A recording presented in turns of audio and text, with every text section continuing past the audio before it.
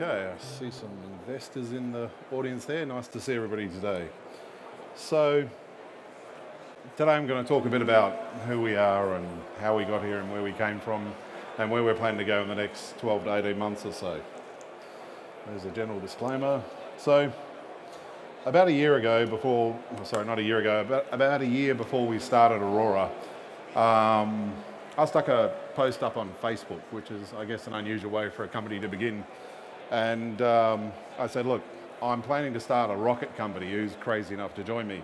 And about five minutes later, a friend of mine sent back and said, yep, I'm in. That was Jess. She's one of our co-founders. And about a week later, she brought along a friend of hers, a guy called Will Crisp, and we started working together on making a liquid-cooled rocket motor, which is a little bit like a space shuttle main engine, but a little bit smaller and a little bit less complex. So about a year into this and we're 90% of the way through building our first rocket motor and um, I come up with this idea for making a low-cost 3D metal printer. And so I asked Will and Jess, because they had complementary skill sets to mine, whether they'd be interested in getting involved in a startup. And they said yes. And two and a half years later, here we are. So so what is 3D printing? What's this additive manufacturing process? Essentially what it is, is taking a three-dimensional digital part and converting it into a solid 3D metal object by using a 3D printer. And the way this works is you start off first of all with a digital part. Now that can be something which is scanned where you take a physical part, you get a scanner, you wave it around in front of it for about five minutes and you end up with a 3D digital part. Alternatively, you can have an engineer use a piece of software like Inventor or SolidWorks and actually design a piece of equipment for you. So the digital part gets run through some software which slices it into a series of thin layers. So each of these slices is quite thin, they're about the thickness of a human hair or a bit less. And then um, uh, the first of these slices is actually fed digitally into the machine. We um, once the slice is fed in, a layer of powder is laid down in the 3D printer. Then um, a laser comes along and scans the surface in the exact shape of the 3D slice. Then another layer of powder is laid down, another slice is fed into the machine, and the laser comes along and scans the next slice, melting the material, fusing it to the layer below. This is then repeated in an iterative process again and again and again and what you end of it end up with at the end of it is a 3D part that's an exact representation of your digital part, except it's been printed out of metal. So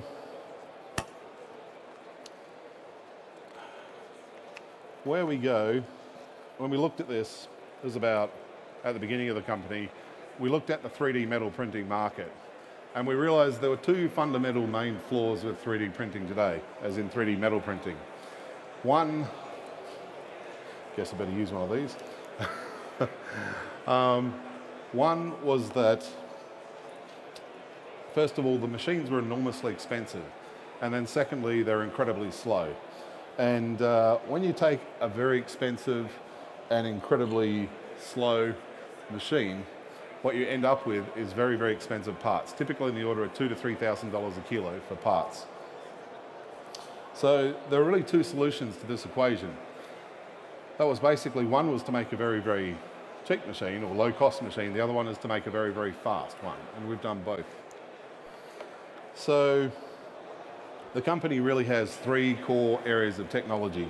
These are printers, both a low cost machine and a very fast machine, powders, and we're looking at uh, powders as an, as an arm of the business because we see that that's going to be extensively used.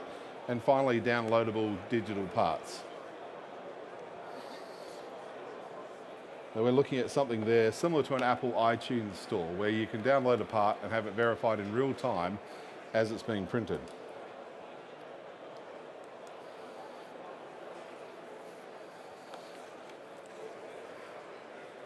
So to go into a bit more detail about these technologies, with a small format printer, this is our first technology. So these are two quite dis distinct. It's quite important to understand with the printing, we've got the small format printer, which is relatively slow but relatively cheap or low cost. And the large format printer, it's not necessarily low cost, but it's extremely fast, looking to be able to print up to a ton a day or more in a day. So where we're at with the small format printer, we've now moved into full production. We're actually selling the machines and distributing them all over the world. We've pre-sold around about 32 machines and we're looking to get up to around about 30 machines a month within the next three to six months at around about 50,000 US dollars per machine. So these machines have been purchased from all over the world. They've, um, for a very broad range of applications from dental to medical to uh, people looking to print parts for cars. There's even one guy who's looking to print horseshoes, which might seem unusual if you look at it at first case, but if you're printing horseshoes for a multi-million dollar horse, maybe it's not such a bad idea. So the small format printer by itself is quite a unique technology and it's got a lot built into it. How it's not the truly disruptive technology that the large format printer is going to be. With a large format printer, we're looking to be able to print around about a ton a day, so uh, approximately 100 times faster than existing machines. And at this point, we're looking to move into a point where printing is actually cost competitive with traditional manufacturing.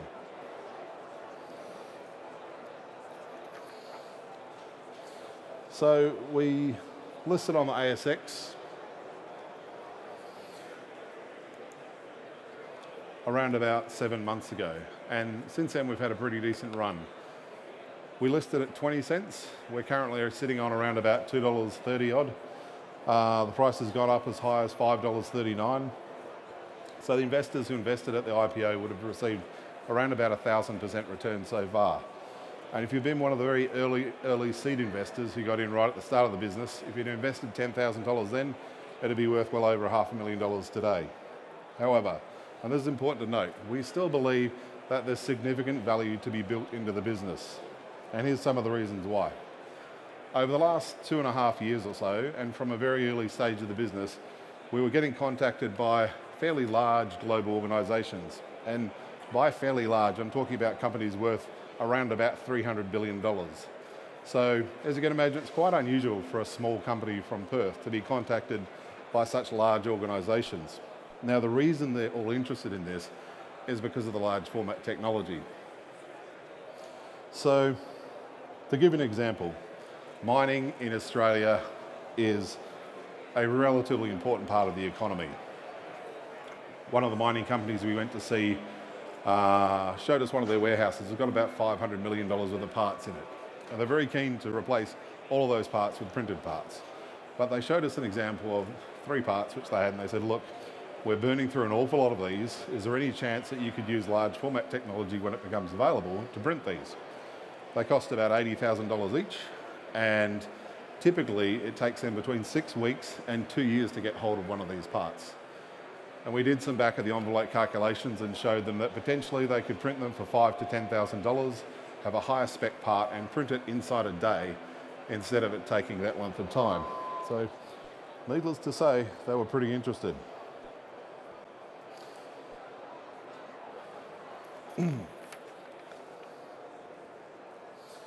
So think about this one for a moment. Let's arbitrarily say the large format machine costs $5 million. We haven't actually fixed the price yet, but let's say it costs 5 million. Then the payback time for that company on the machine is going to be under a month, which is incredibly fast for capital payback. And another thing to bear in mind is that one of the mining companies we were speaking to has $4 billion worth of stock just sitting on the shelf. And they're interested in replacing a significant portion of that stock with printed parts. So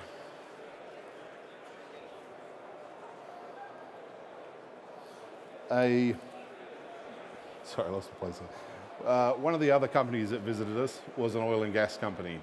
Now they came along and brought a device which I was quite interested in because I often talk about it. It was called a counter-current heat exchanger. Now, a counter-current heat exchanger is basically a device for getting heat out of one liquid and putting it into another one. It doesn't sound very difficult, but it's used a lot in industry. The reason it's particularly interesting for me is it's a very, very complicated piece of equipment.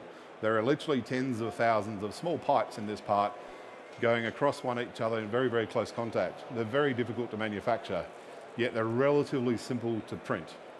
So they brought along one of these parts and they actually had it printed by a research organisation in Australia.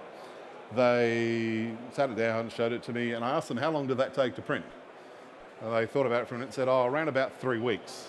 And then they said, how long would it take to print using your large format technology? And I did some rough calculations in my head and said, oh, around about 13 minutes. So you can understand why they were extremely excited and interested at that point. The possibility for them to create replacement parts and have them available in a very short time frame is extremely interesting to them. So this is what makes such a compelling argument to these groups. Potentially, they can eliminate overheads by reducing inventory.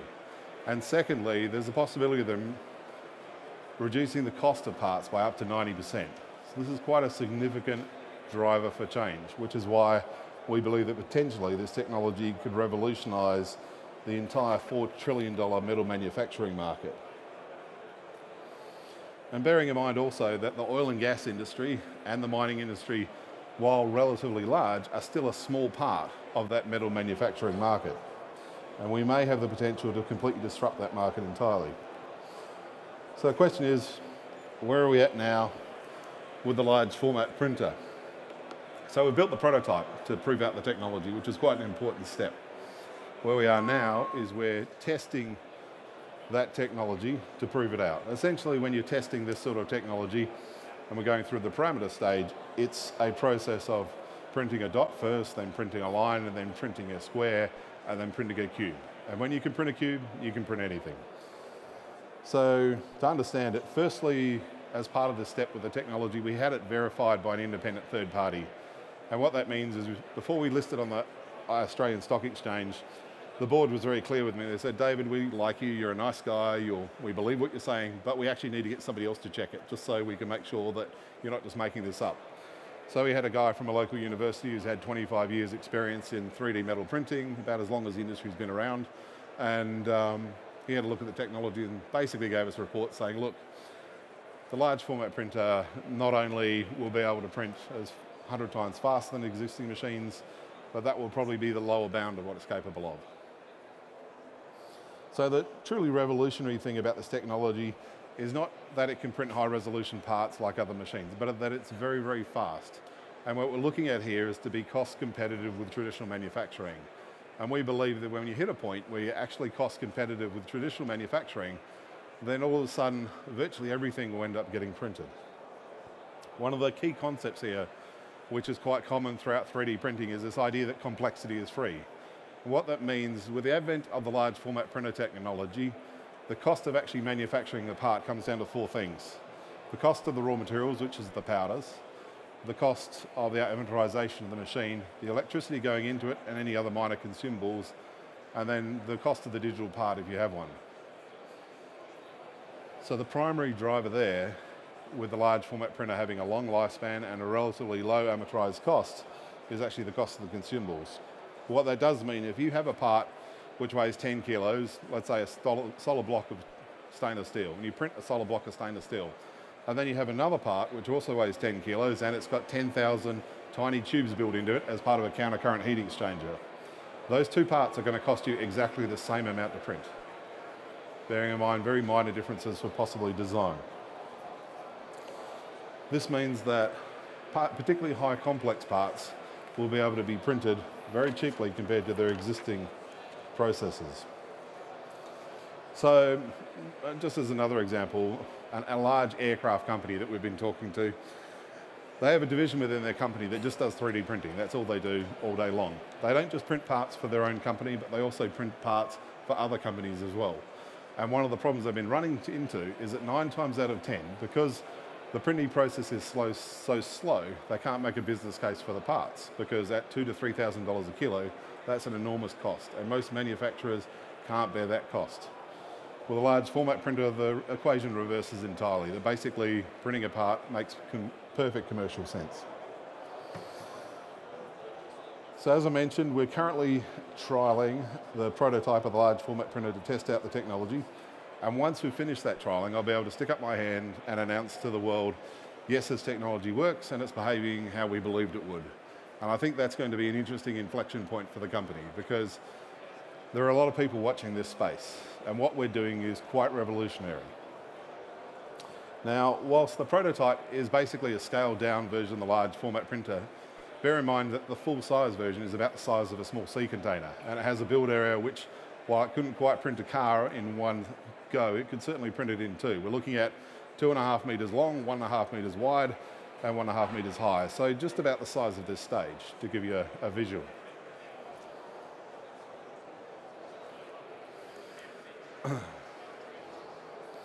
so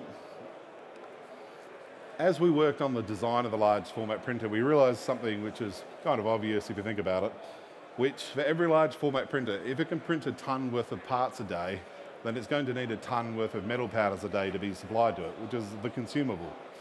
And obviously that's what we're going to be doing as one of the business arms of the company. So if you look at one large format printer using a tonne a day, that's about 300 tonnes a year. At an arbitrary cost and a fairly low cost of $10 a kilo for stainless steel powder, that'd be $3 million a year per machine that it will be using in consumables.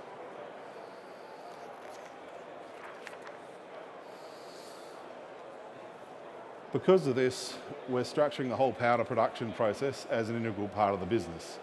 So what we're looking at there, we've developed some new technology which will potentially allow us to produce much higher quality powders at a much lower cost, which is one of the reasons we're in discussions with all of the world's global man powder manufacturers, not just because we could be their largest customer, but because they're also interested in potentially licensing that technology from us.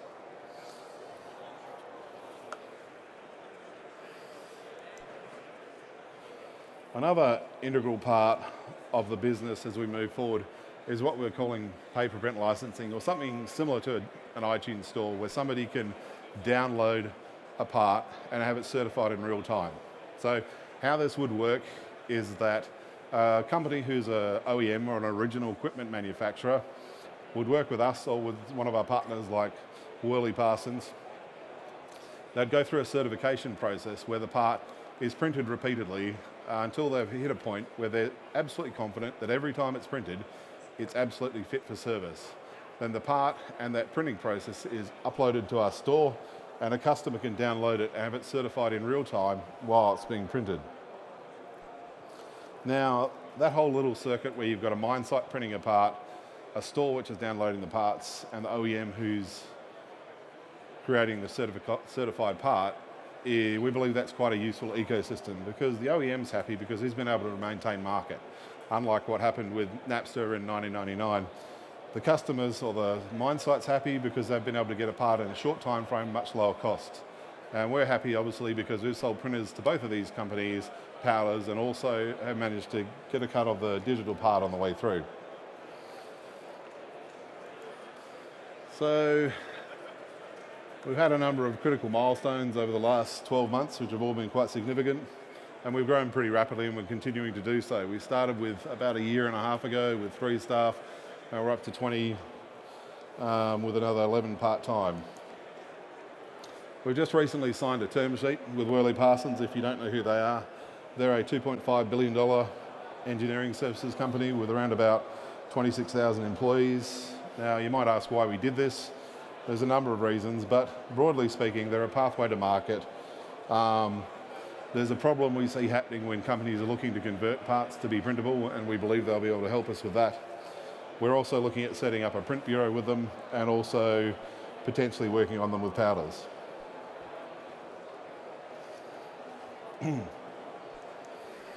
We've done a recent raising in the last month or so where we raised $7 million to accelerate our pathway to market with the medium and large format printers. We see that since GE bought a couple of 3D printing companies that the market's changed and so we decided to accelerate our program to move forward. You can note that I'm one of the primary shareholders of the company as the people who started it and that over 50% of the stock is held by staff and 55% uh, in escrow. So a couple of things I'd like to say as I close. Firstly, by all means, this 20 minutes, even though it's longer than 10, is a fairly short time to cover all this stuff. So we've got to stand upstairs and by all means come and have a talk to me. But I'd like you to think about this. In the next 12 months, we're projecting to have the large format printer in operation.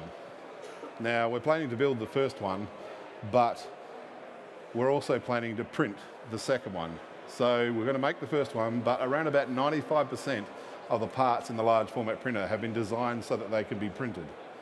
And we believe that this will give us an ability to scale in a way that's been absolutely unparalleled in the entire history of manufacturing. And potentially within five years, we could disrupt a fairly significant portion of the $4 trillion metal manufacturing market. I'll leave you to do the maths on that one, but feel free to give me a, come and have a chat to me afterwards. Thanks for your time.